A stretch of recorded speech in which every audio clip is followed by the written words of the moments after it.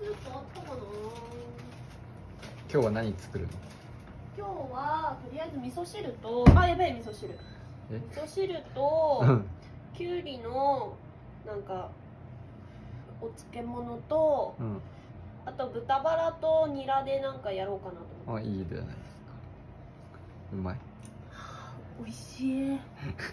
おっさんみたいな言い方で久々にだってあの味噌汁作ったから、まあ確かにな。美味しいでございます。指気をつけてね。え？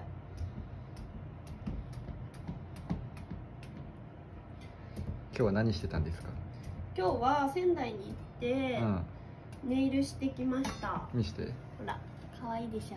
ああまあいいかもしキラキラキラーれない動いてるから見えにくいのよ。ン嘘。こんな感じです。はいはい。あいいじゃないですかパーコです。パーコ。全部ピンクだもんね。そう全部ピンクだから。でその後友達、東京から来て遊びに来た友達と会ってうん。で仙台から歩いて帰ってきました。おおいいやん。何分くらいかかったの？え1時間ちょいくらい。よく歩いたね。歩いたんじゃないかな。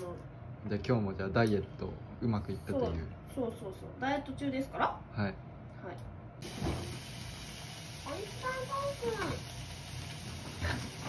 そろそろできそうですか？スうんもうちょっとしたらできるよ。ありがとうございます。いい感じです。いい感じです。美味しそうだよ。美味しそう。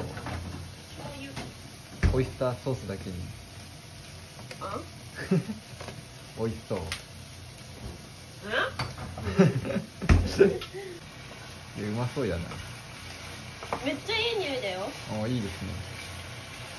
届くかな？動画まで。みんなに届くかな？は い届くといいですこんな感じで今やっております。あれ？え？何？何始めてんの？ご飯が炊けるまでちょっとだけ。ダイエットですか？ダイエットでイカです。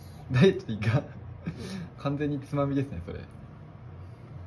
うまっ。うまい？で俺も食べて。え？ちょっとあんして。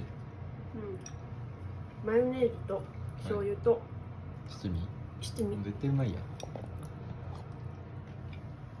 うまっ。うまいでしょ。あ俺も水銀ソーダ飲みたい。ないよこれも。うんそれちょうだいよ。はうまいなイカ。いうん最高。うわうまっ。じゃあ結構濃いな。これうん濃い。何パーそれ？7パやっぱ濃いわ。ーうんふん。俺ちょっとそれ苦手かもしれん。うん。うん酒酒してるわ。